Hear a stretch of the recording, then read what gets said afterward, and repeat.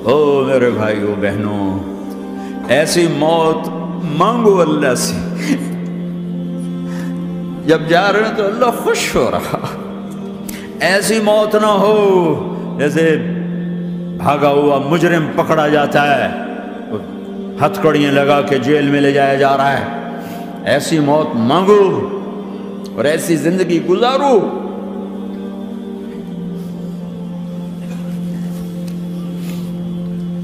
मौत हमारे लिए राहत अल्लाह खुश हो रहा। जब सात बिन माज का इंतकाल हुआ तो आपने फरमाया, मेरे नबी ने फरमाया सात बिन माज बड़े साहबा में मेरे नबी ने फरमाया कि आज अल्लाह का अर्श खुशी से झूम उठा है।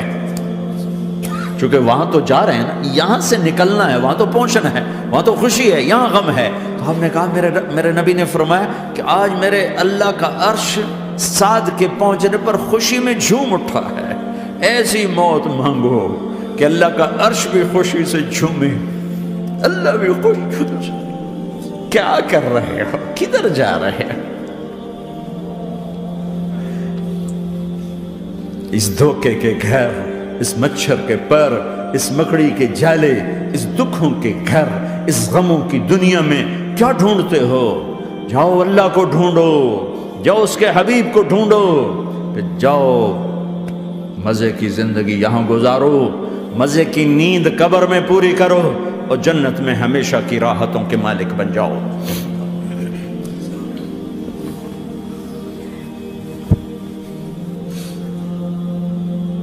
कया रसूल अल्लाह अल्लाह मुलाकात के शौक में है। है तो मेरे नबी फरमाते कि मेरे हसनैन का क्या होगा? मैं तो देख रहा हूँ, एक जहर में तड़पता है। एक बच्चों समेत नेज़े पे चढ़ा हुआ है। वैसे भी मुहर्रम हमें याद दिलाता है कि अल्लाह को राज़ी करने के लिए आखिरी हदों तक पहुँचना भी कामयाबी का सेहरा गले में डालना है। एक ने फतह का झंडा गाड़ा। क्यामत तक के लिए जिल्लत उसके माथे का निशान बन गई। एक ने सर कटा के नेजे पे चढ़ाया और क्यामत तक के लिए इज़्ज़त का सेहरा गले में डाल लिया। क्यों? कि एक दुनिया की बाजी हारा पर अल्लाह को लेके जीत गया और एक दुनिया की बाजी जीता और अल्लाह को खो के हार गया। अल्लाह को पा लेने के बाद कोई हार हार नहीं, अल्लाह को खो देने के बाद कोई जीत जीत नहीं। अल्लाह को अपनी अपना मतलब बनाओ, अल्लाह को मतलब बनाओ, अल्लाह को मतलब बनाओ, अल्लाह को अपनी ज़िंदगी का मकसद बनाओ। है जबरील, वापस जाओ और अल्लाह से पूछ के आओ, मेरे बाद मेरी उम्मत के साथ क्या करेगी? हाय वाह या रसूल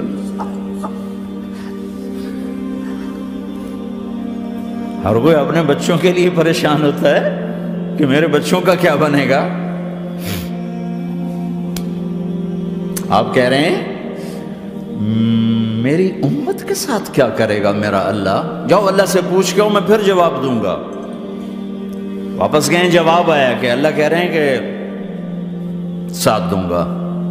मेरे रब की इज़्ज़त की कसम और लाखों करोड़ों दरूदो सलाम हो उस कमली वाले का अगर आप ये सवाल ना उठाते, आज मैं और तुम भी बंदर खंजीर होते। बीच में वो हायल हो गए, उनके आँसू, उनकी दुआएँ। मछली खाने पर अल्लाह ताला ने मूसा इस्लाम की कौम को, पूरे शहर को बंदर बना दिया। मछली खाना कौन सा गुना है? अल्लाह ने कहा, बस हफ़्ते को नहीं खानी, खाओ। इतवार, पीर, मंगल, बुध, जुमरा जुमा खाओ। हफ़्ता नहीं। मगर नहीं खाएँगे खाया, अल्लाह ने बंदर बना दिया। शराब पीना मछली खाने से बड़ा गुना है। और बेचना उससे भी बड़ा गुना है। और नशे की चीज़ें बेचना उससे भी बड़ा गुना है। माँ बाप की ना फरमानी उससे भी बड़ा गुना है। मेरे नबी से पूछा गया, या रसूल अल्लाह क्यामत कब आएगी? अल्लाह को पता है। कोई निशानी बता दें। कोई निशानी बता दें। तो आपने फरमाया, जब माओ को जलील किया जाएगा क्या मत आ जाए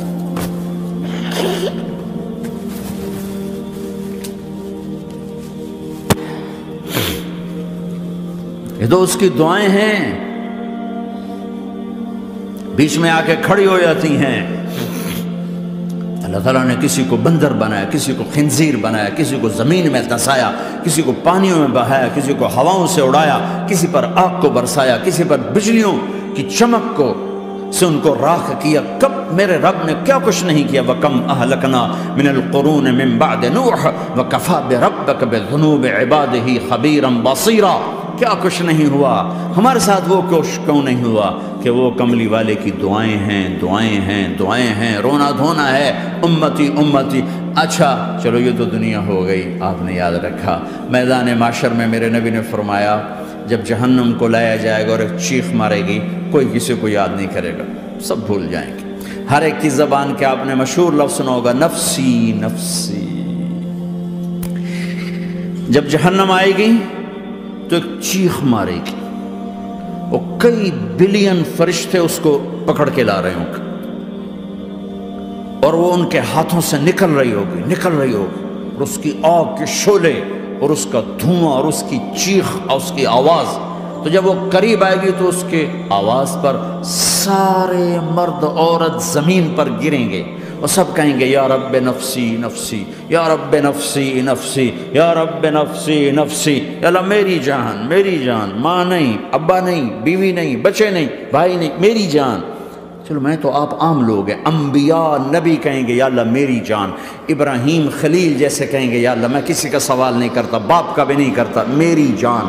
और इस ईसा सलाम जैसी हस्ती कहेंगे, या अल्लाह, मैं अपनी माँ मरियम का भी सवाल नहीं करता, मेरी जान। मेरी जान, मर ईसीम से लेकर आदम आसमाम तक। नफसी नफसी नूसम नफसी नफसी, यहिया, जकरिया, बाप बेटा हैं, लेकिन नफसी नफसी, सुलेमान दाबूद बाप बेटा हैं, लेकिन नफसी नफसी यूसुफ, याकूब बाप बेटा हैं, लेकिन नफसी नफसी, याकूब इसहाक बाप बेटा हैं, लेकिन नफसी नफसी। इसहाक इब्राहिम बाप बेटा हैं, लेकिन नफसी नफसी। इस्माइल इब्राहिम बाप बेटा हैं, लेकिन नफसी नफसी, ये नबियों का हाल है। मेरा क्या हाल होगा? लेकिन इसी हंगामे में जब हर मर्द, औरत कहेगा, नफसी नफसी, एक आवाज़ उभरेगी, उम्मती उम्मती।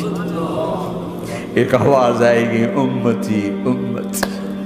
एक दुख भरी, एक दर्द भरी आवाज़ आएगी, उम्मती उम्मती। सुनने वाले हैरान होंगे, ये कौन है? ये कौन है जो अपने आप को नहीं मांग रहा, अपनी उम्मत को मांग रहा है? ये कौन है? जब आवाज़ की तरफ़ नज़रें लगेंगी ओ ये तो मोहम्मद रसूलुल्लाह है। झोली फैली हुई है। हाथ उठे हुए रब, मेरी उम्मत कौन सी उम्मत सारी ज़िंदगी शराब बेचते रहे? कौन सी उम्मत सारी ज़िंदगी ड्रग्स बेचते रहे? कौन सी उम्मत सारी ज़िंदगी जिना करते रहे? कौन सी उम्मत सारी ज़िंदगी जुल्म सितम के पहाड़ तोड़ते रहे? सारी ज़िंदगी जुआ खेलते रहे। आप तो कहते, दफ़ा हो जाओ, मेरी नज़रों से दूर हो जाओ। न तुम्हें मेरी इज़्ज़त का ख्याल न मेरी नस्ल की कुर्बानियों का तो मेरे मासूम बच्चे नेजों पे छड़ के इसके दीन के। तुम चंद पौंडों पे क्या जुल्म ढा के आए हो? दफ़ा हो जाओ, या अल्लाह इन्हें जहन्नम में डाल। ये कहने का मौका था, मैं कुर्बान जाऊँ उस नबी रहमत उस कामिल अकमल नबी उस हदी रहबर पर मैं कहा से अल्फाज लाऊं उनकी तारीफ़ के लिए?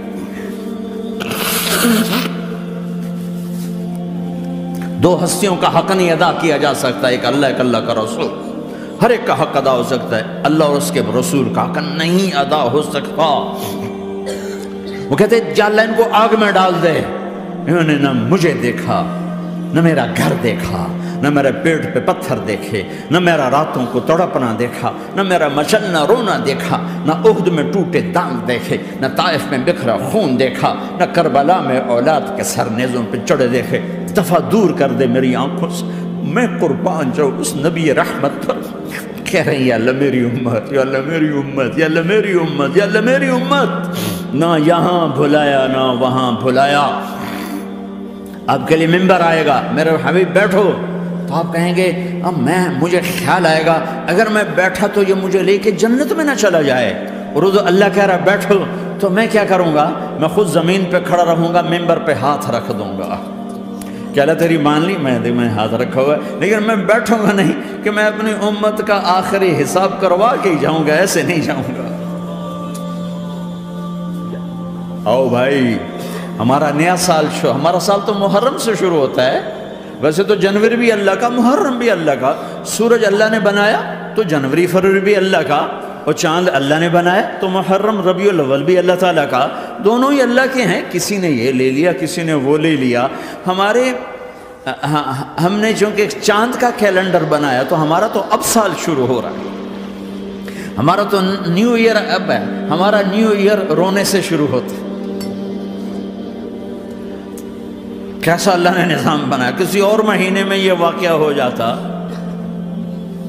नहीं, साल के शुरू में ये वाक्य रखा है कि हर एक को पता चले कि हाँ हाँ नया साल खुशी मनाने के लिए नहीं होता। नया साल आखरत की तैयारी के लिए होता है कि एक साल चला गया, एक साल और ज़िंदगी से निकल गया। और भाई, जल्दी से अल्लाह को राज़ी करने का, कोई काम करने को, तोबा करने को अल्लाह को राज़ी कर लें।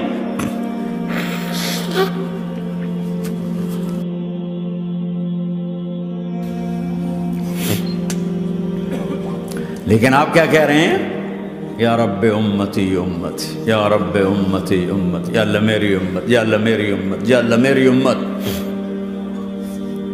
और ऐसी शफकत तो मोहब्बत आप कहेंगे, या अल्लाह, ये मेरी उम्मत का हिसाब मेरे हवाले कर मैं लूँगा, तू ना ले, मैं लूँ। तो अल्लाह ताला फरमाएँगे, आप क्यों लेना चाहते कहेंगे, मैं इसलिए लेना चाहता हूँ कि इनके जितने ऐब सवाब है ना, वो किसी को पता ना चले तो मेरे सामने आ जाएँ तो इनको शर्मिंदा ना होना पड़े। तो मैं कुर्बान जाऊँ, फिर वो रब मोहम्मद है, उसने अपने हबीब की लाज रखनी है। वो कहेंगे, मेरे महबूब, अगर आप इनका हिसाब लेंगे और आप इनके गुनाह देखेंगे तो फिर इनको आपसे तो बड़ी शर्म आएगी। नहीं, मैं आपको भी नहीं देता, मैं इनका हिसाब पर्दे के पीछे लूँगा, किसी को पता नहीं चलने दूँगा।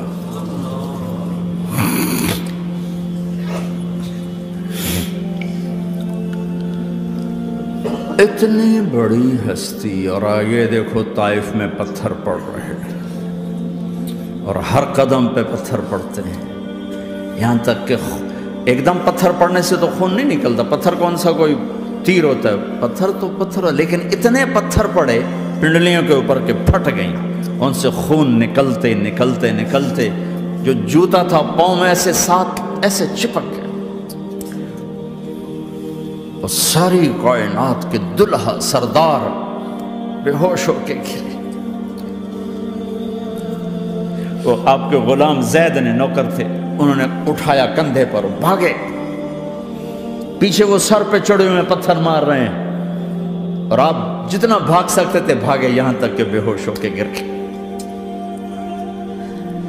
खून ज़्यादा निकल गया तो वो उन्होंने कंधे पर उठा, दौड़ लगाई। और आगे सामने बाग था किसका?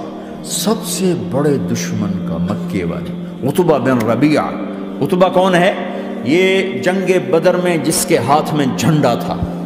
और जंग बदर में कुरैश मक्का के लश्कर का जो चीफ था, वो उसका बाग। लेकिन जैद को कोई पनाह नज़र नहीं बाग में घुस गए। और अल्लाह के नबी को एक अंगूर की बेल के नीचे लटाया। तो जान का दुश्मन उतबा, लेकिन जब अल्लाह के नबी को खून खून देखा तो उसका दिल भी पिघल के रह गया। कहने लगा, हाय हाय, ताइफ वालों ने मोहम्मद के साथ क्या कर जिस पर दुश्मन को रहम आया, हमें उस पर रहम नहीं आया। हमने उसके आंसुओं की कोई कीमत नहीं लगाई। वो इतना इमोशनल हुआ कि जल्दी से गया और प्लेट में अंगूर तोड़ तोड़ तोड़ के सजाए। जब जाने लगा तो फिर शर्म और वो एक हिजाब दरमियान में आड़े आ गया तो अपने ग़ुलाम को बुलाया, अद्दास का अद्दास, ये ले जा। वो जो आदमी ज़ख्मी पड़ा। उसे जाकर कहना कि तुम्हें रिश्तेदारी की कसम, मेरे अंगूर रद्द ना करना, खा हालाँकि मौका था कि कत्ल करता। हर वक्त कत्ल करने के मंसूबे बना रहे। मौका था कि कत्ल करता। ऐसा हाल था कि कातलों के भी आँखों में आँसू आ नहीं आए तो तुम्हारी आँखों में नहीं आए। चंद पौंडों पे अपने नबी को बेच दिया।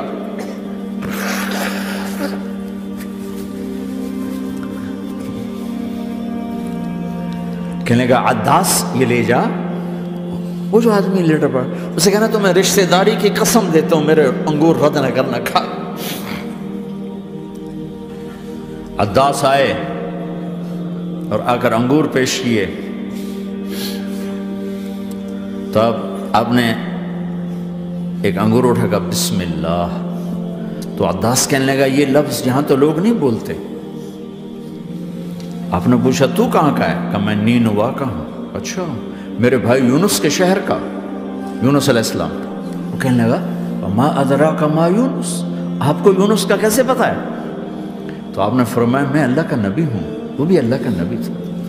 तो अद्दास ने एकदम आपके पाँव पकड़े और चूमना शुरू किया और कलमा पढ़ लिया। तो आपको अपने सारे जख्म भूल गए।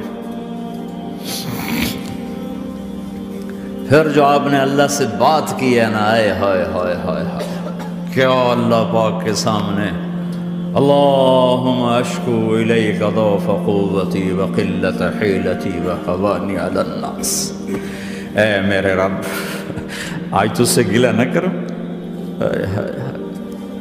आज तुझसे गिला न करो तूने मुझे किन के हवाले कर दी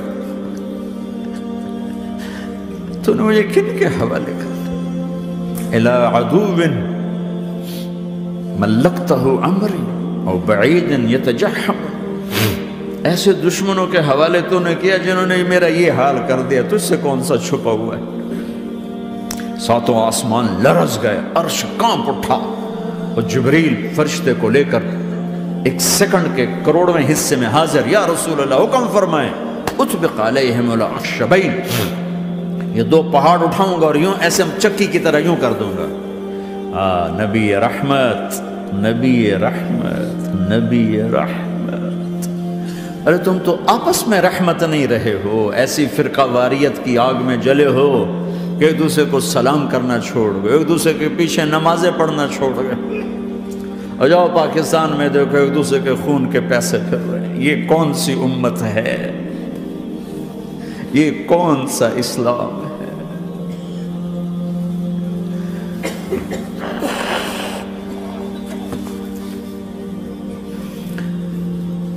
हज़रत आयशा ने पूछा, या रसूल अल्लाह आपको सबसे ज़्यादा तकलीफ़ कहाँ पहुँची? कब ताइफ में ताइफ में तेईस बरस में सबसे ज़्यादा तकलीफ़ कहाँ पहुँची? फरमाया, ताइफ में। जिन्होंने इतनी ज़्यादा तकलीफ़ पहुँचाई थी उनसे बदला लेने का वक्त आ गया है और फरिश्ता हाजिर है, अल्लाह की मंशा शामिल है। कर दूँ? कल नहीं। ये ना सही, इनकी नस्ल में शायद कोई ईमान ले आए। लाल्लाह अन युखरिज मिन असलाबिहिम। मन ये नहीं तो इनकी नस्ल ही शायद कलमा पड़ जाए मैं अजाब दिलाने नहीं आया मैं तो रहमत बनकर आया माँ बुला आनंद मैं लान तान करने नहीं आया इन माँ बुस्तो रहमतन मैं तो रहमत बन के आया अब मेंबर पे बैठने वाले लानते बरसा रहे अपनों पर उम्मत बनो, मुसलमान बनो। इस दुआ पर आसमान के फरिश्ते रोए हैं। साधो आसमान के फरिश्तों में हलचल मच गई। मेरे भाइयों, यहाँ कोई आज़ाद नहीं है। मौत से लड़ो, दिखाओ। बुढ़ापे से लड़ के दिखाओ। गम और दुखों से लड़ के दिखाओ। यहाँ पाबंद बन के चलो उस अल्लाह के जिसकी शहनशाही है, उस अल्लाह के जिसने मुझे बनाया, उस अल्लाह के पाबंद बनो जिसने मुझे आँखों का नूर दिया, ज़बान में बोल दिया, जिसम में ताकत दी, अकल को समझने के औसाफ दिए, उस अल्लाह के पाबंद बन के चलो, जिसने कुरान को उतारा, जिसने धरती को बिछाया, जिसने आसमान को उठाया जो मौत देने वाला है, जो मौत के बाद उठाने वाला है, उस अल्लाह के पाबंद बन के चलो, जो मेरे जिसम को चूरा चूरा करने वाला है, मेरी हड्डियों को रेत की तरह ज़र्रा ज़र्रा करने वाला है, उस अल्लाह की मान के चलो, जो फिर मुझे मुझे मेरे इस पारा पारा वजूद को फिर जमा करने वाला है। उस अल्लाह के सामने झुको, जो कब्रों को फाड़ कर मुझे फिर खड़ा करने वाला है। उस अल्लाह के सामने झुको, जो सारी आदम की मुर्दा नस्ल को दोबारा ज़िंदा करने वाला है। उस अल्लाह के सामने झुको, जो ज़मीन आसमान को एक दिन तोड़ने वाला है, तोड़ के फिर बनाने वाला है। इदसमा उन फतरत व इदल कवा के मुंतफरत व इदल बिहार फुजरत व इदल कबूर बसरत ज़मीन आसमान को हिला रहा है मौत दे रहा है इदा जुलजिलतिल अर्द जिलजालहा ज़मीन पे मौत आ रही है इधर समा उन फतरत आसमान मर रहा है इधर शम्स कुवरत चाँद सूरज मर रहा है मईदल जिबाल सैरत ये पहाड़ों की मौत है अर्श फर्श लोह कलम कुर्सी हर शय को फना के घाट उतारने वाला और ख़ुद हमेशा बाकी रहने वाला, दायम रहने वाला, कायम रहने वाला, अपनी ज़ात में कायम, अपनी ज़ात में दायम, मौत से पाक, थकन से पाक, नींद से पाक, ऊँग से पाक जुल्म से पाक जोफ से पाक ख़जानों का मालिक इज़्ज़त का मालिक क़वत का मालिक शहनशाही का मालिक किबरियाई का मालिक हिमनत का मालिक जबरूत का मालिक जबरूत का मालिक ख़जानों का मालिक फ़रिश्तों का मालिक जबरील का मालिक मेकाइल का मालिक इसराफील का मालिक इसराइल का मालिक तारक जमील का मालिक बर्मिंगम वालों का मालिक आदम की सारी नस्ल का मालिक, दो पाँव पे चलने वालों पर बादशाह, चार पाँव पे चलने वालों का मालिक, पानी की मखलूक, हवा की मखलूक, ज़मीन की मखलूक, रेंगने वाले, उड़ने वाले, तैरने वाले, झपटने वाले दौड़ने वाले, फाड़ने वाले, डसने वाले, सब पर मेरे अल्लाह की शहन शाही है। लिल्ला है मुल्क समावात वल अर्द वमा फिहिन, लहू मा फिस समावात वमा फिल अर्द वमा बैनहुमा वमा तहत थरा व इन तजहर बिल कौल इन यअलमु सिर्र व अखफा। वो कौन है अल्लाह? रसूल अल्लाह सल्लल्लाहु अलैहि वसल्लम ने फरमाया, जो ये चाहता है कि मुश्किल में अल्लाह उसकी दुआएँ कबूल करे तो उसे कुशादगी और फराखी के हालात में कसरत से दुआएँ मांगते रहना चाहिए।